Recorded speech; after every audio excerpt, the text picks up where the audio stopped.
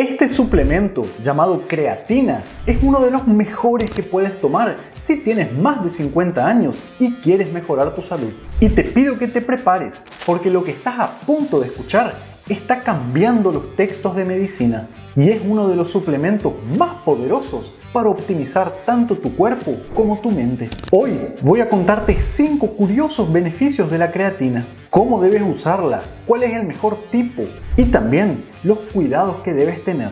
Fíjense, la creatina es una molécula que nuestro cuerpo la produce de manera natural, principalmente en órganos como el hígado, el riñón, el páncreas. Su función principal es almacenar y proporcionar energía a las células, principalmente de los músculos, del corazón y del cerebro. Cada vez que tu cuerpo necesita un empujón de energía rápida, la creatina está allí para ayudar, como si fuese una batería de emergencia o de respuesta rápida. Esto es esencial para las actividades de alta intensidad, como levantar pesas, salir a correr, pero también para varios procesos mentales. Y este es uno de los más grandes descubrimientos de los últimos años. Entonces, a diferencia de lo que muchos creen, la creatina no es solamente para los que van al gimnasio. Pero, a pesar de que tu cuerpo la produce todos los días de manera natural, no la estás aprovechando al máximo. Tomar suplementos puede llevar tu energía y rendimiento tanto físico como mental a niveles muy superiores. Y es aquí donde la cosa se pone interesante, no importa la edad que tengas. La ciencia ha demostrado que sus beneficios van mucho más allá del rendimiento físico y 95% de las personas que la toman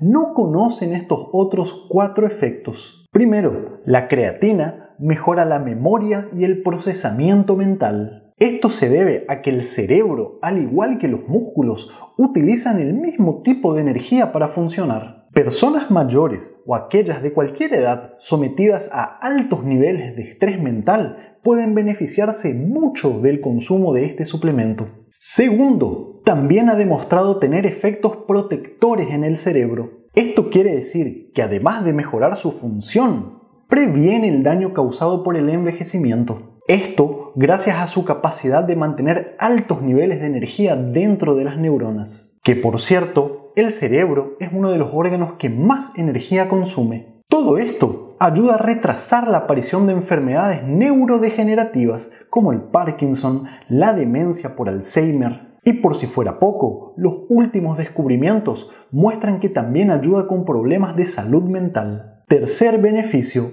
ayuda con enfermedades cardíacas. La creatina también puede mejorar la función del corazón en personas con insuficiencia cardíaca. Esto ocurre porque nuestro corazón también está formado por músculo. Y número 4, esto es muy curioso. La creatina puede mejorar la salud y la densidad de nuestros huesos. Esto puede ser muy útil para prevenir y tratar la osteoporosis, especialmente en personas mayores. Entonces, lo que comenzó siendo un suplemento para físico-culturistas, ahora es considerado una estrella dentro de la medicina integral y nos está ayudando a envejecer de una manera mucho más saludable. Pero como ustedes saben, existen varios tipos de creatina disponibles. ¿Cuál es mejor? Y el problema es que cada una de las opciones que hay en el mercado promete tener algún beneficio diferente, ser la mejor o la más avanzada. Por eso quiero aclararte todo esto para que no caigas en trampas comerciales. La primera de todas es la creatina monohidratada, esta que yo uso.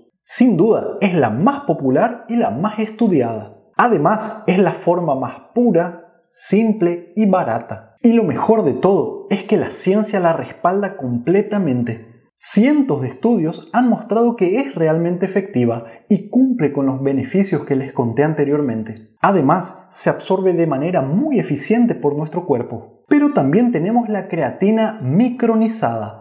Les digo estos nombres porque son estos productos los que les van a ofrecer. La creatina monohidratada micronizada es básicamente lo mismo que la versión anterior. La diferencia es que tiene partículas más pequeñas lo que hace que se disuelva mejor en el agua y sea más fácil de digerir y absorber. ¿A quiénes les recomiendo tomar esa? A los que sufren de problemas digestivos, diarreas, calambres abdominales, con la otra versión más barata y simple que les mostré. Es decir, la creatina monohidratada regular. Pero considerando los resultados y beneficios, es prácticamente lo mismo que la otra. También tenemos otra versión llamado clorhidrato de creatina. Esta versión está diseñada para que se disuelva aún mejor en el agua y supuestamente se absorbe más rápido y mejor. Las marcas que promueven esta forma de la creatina afirman que esto hace que necesites una dosis menor, porque al absorberse más, no necesitas tomar tanto. Es decir, tu cuerpo desperdicia menos y obtienes los mismos beneficios. Sin embargo, cuando se las compara cara a cara con las otras, estos beneficios son muy limitados. Es más un concepto teórico que práctico. Pero entonces, ¿cuál es mejor realmente? La respuesta es simple. La creatina monohidratada sigue siendo la reina de las creatinas. Es la más estudiada, la más económica y la más eficaz. Y para que sepan, también existen otros tipos. Les van a ofrecer con nombres raros, cada uno prometiendo un beneficio diferente. Pero mi consejo es, vayan por lo más simple. Yo creo realmente que por ahora no hay necesidad de optar por formulaciones más caras, avanzadas o mejoradas supuestamente. La única salvedad, recuerden, son las personas que intentaron utilizar creatina monohidratada simple y no pudieron por problemas digestivos. En ellos sí, la versión micronizada puede ser un poco más tolerable. Te voy a dar un consejo. Mira siempre la etiqueta. Tienes que leer que el producto diga que contiene solamente creatina monohidratada. Nada más, no te dejes engañar por el marketing. Hay veces que le meten espesantes, endulzantes y todo lo que ustedes se puedan imaginar. Eviten esas versiones. Veamos ahora cómo tomar la creatina correctamente para poder aprovecharla al máximo. La dosis recomendada por día es 3 gramos, una medida, una cucharita que viene dentro del pote. Y si quieres que sus efectos ocurran de manera más rápida en tu cuerpo, puedes empezar con una fase de carga. ¿Qué quiere decir esto? Tienes que tomar 20 gramos por día, dividido en 4 dosis de 5 gramos. Y tomas esa dosis durante una semana para saturar las reservas de creatinas en tus músculos. Después del séptimo día, ahí sí se pasa a tomar 3 gramos por día. Ahora, esta fase de carga no es estrictamente necesaria, porque a largo plazo lo mismo vas a obtener los beneficios. Solo que si la haces, vas a acelerar en 2 o 3 semanas la aparición de sus efectos. Por eso es importante que sepas, al tomar la creatina, sus efectos no son inmediatos, tarda algunas semanas. Y acá te quiero dar un consejo vas a notar que varios productos vienen con una cucharadita de 5 gramos y no de 3 como les mostré recién. Y recomiendan tomar esa dosis por día. Pero no lo hagas. Hoy sabemos que tomar 3 gramos se obtienen exactamente los mismos resultados que tomando 5 gramos. Es decir, 5 gramos es una versión desactualizada de la dosis correcta. Entonces, si tu producto vino con 5 gramos, toma un poquitito más de la mitad de esa medida. Eso va a hacer que el producto te dure el doble de tiempo. Ahora, la clave para que realmente te haga bien es la consistencia. Para que obtengas esos resultados que van más allá de los músculos, es importante que seas constante, que la tomes todos los días. Les digo esto porque mucha gente toma el suplemento solamente cuando va al gimnasio. Esto es un grave error. Ahora, ¿cuándo hay que tomarla? No hay un momento exacto en el día que es mejor. Algunos prefieren tomarla antes de hacer alguna actividad física para maximizar la disponibilidad de energía, mientras otros prefieren tomarla después para optimizar la recuperación muscular. Ahora, a los fines prácticos no hay diferencia realmente, esas son creencias que existían antes. Lo importante es tomarla todos los días, ya que sus efectos se van acumulando con el tiempo. Ahora, algo muy importante durante su uso es la hidratación. La creatina atrae agua hacia las células musculares, por lo que es vital mantenerse bien hidratado. Te sugiero que aumentes el consumo de agua, especialmente si haces actividad física. Ahora te voy a dar unos consejos para mejorar su absorción. Primero, tómala junto con proteínas y carbohidratos. Por ejemplo, después del gimnasio o en el desayuno, come tres huevos, una banana y un vaso de agua con creatina. O si no, mezcla con un licuado de banana, un jugo verde, como más te guste.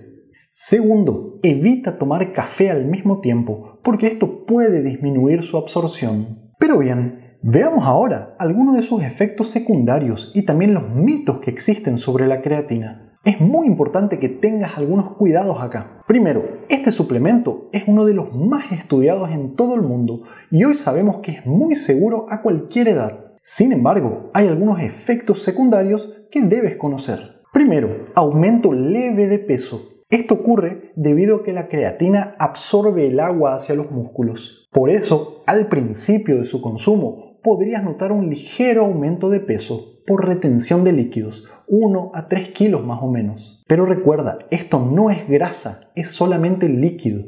Y después con el tiempo, esto mejora. Segundo efecto secundario, molestias digestivas. Algunas personas reportaron que les da diarrea, dolor abdominal, especialmente si toman una dosis muy alta o sobre todo si hacen la fase de carga. La solución es dividir la dosis no realizar la fase de carga o si no, optar por la creatina monohidratada micronizada, aquella versión que les dije que se disuelve mejor en el agua. Y te doy un consejo acá. Para evitar aún más los problemas digestivos, fíjate que se disuelva muy bien en el agua, que no quede grumos. Y fíjate, existen algunos mitos muy comunes sobre la creatina. Primero, ¿es verdad que daña los riñones o puede provocar piedras en el riñón? Esto es solo un mito la creatina no representa ningún peligro para el riñón. Por si no lo sabían, mi especialidad son las enfermedades del riñón, por eso les quiero hacer algunas aclaraciones aquí. Es muy importante que le avises a tu médico que estás usando creatina, sobre todo si te vas a hacer algún análisis de sangre para ver cómo están tus riñones. Lo que ocurre es que al tomar este suplemento, los análisis pueden mal interpretarse y hacer creer al médico que el riñón está con problemas. Esto ocurre porque la creatina causa errores de lectura o simula tener una enfermedad en el riñón,